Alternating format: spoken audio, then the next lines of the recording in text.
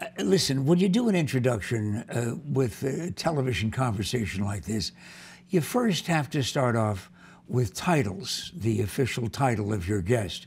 So far, okay, I have Melinda Vail, medium, intuitive, author, talk show host, uh, leader of the lives of Hollywood stars and law enforcement, uh, uh, Christian mystic.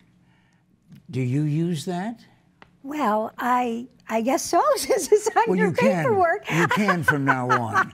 Uh, but just remember where you got well, it. Well, I think there's a big difference between mediumship and Christian mystic, and I think I fall somewhere in between. Nobody knows what to label me exactly, Pat, because I'm a regular churchgoer. I'm a strong believer in my faith, and yet I do medium work. So, as you know, I say I keep out of what I call Fruit Loops and wind chimes or New Age kind of energy. So I'm somewhere in between, I think, and it's kind of hard to put a label on. But most faiths are not big fans of you being a medium or mediumship in general. Isn't that true? That's very true.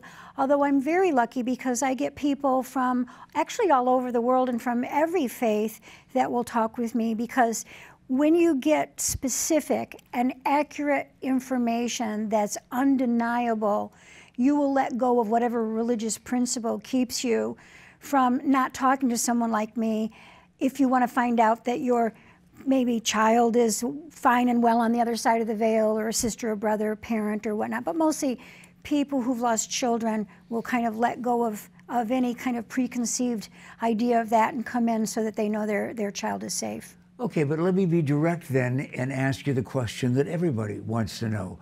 With all of the people, the countless people who at least claim to be able to communicate beyond, mm-hmm. and what do you call many of them? Fruit Loops and wind chimes. Fruit Loops and wind chimes, yes. Mm-hmm. Well, there are so many phonies mm-hmm. uh, in that business. Uh, why should anyone believe you? Well, if you come and see me, you will know immediately that I'm the real deal because I will get a name that is very specific. And I get generational names. I get dogs' names. I get other animals' names, horses' names. I get uh, things that are private. Uh, for example, today I actually talked to somebody in Malta, of all places, and her loved one had given her a small teddy bear. And I said, She's saying teddy bear. And so that was the clincher because they, you know, it was verifiable information that I wouldn't have any way of knowing. And the reason you're here, and the reason why I don't consider you a Fruit Loop, uh, is because I have been to see you uh, in public, for lack of a better term, performances, mm-hmm. presentations, and it is totally unexplainable how it is you manage to do what you do. And I think probably if folks come to the Stagebrush Theater in Scottsdale, February the 23rd, they will understand how it is that you may or may not be able to communicate for the first time, I think, ever with Wallace and Ladmo, hmm. the children's show hosts that were here in Phoenix on the air, Channel 5, mm-hmm. for 36 years. Mm-hmm. It should be very interesting because I have not been raised here. So I am unfamiliar with the show.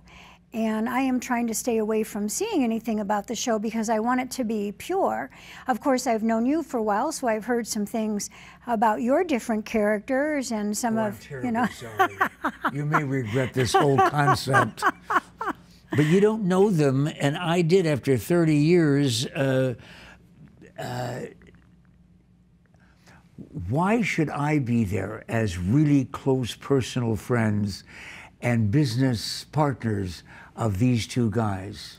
Well, because I think that you will be the one that will be able to acknowledge that Wallace and Ladmo are making fun of everything in heaven, and uh, that they'll definitely be having a good time on stage with you. And how I know this is because I can't just conjure them up, Pat when I had the idea of, actually, you gave me the idea because someone asked you, has she ever talked to Wallace and Ladmo for yep. you? And you said no.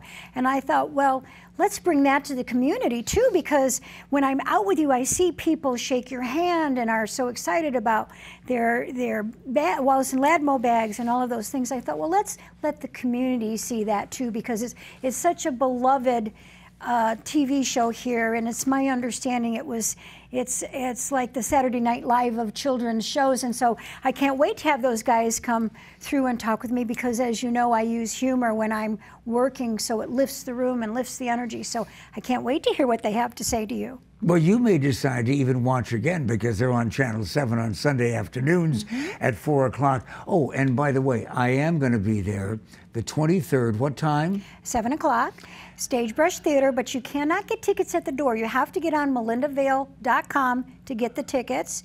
And so that um, you're all set when you come through the door. There'll be people at the tables that mark you off.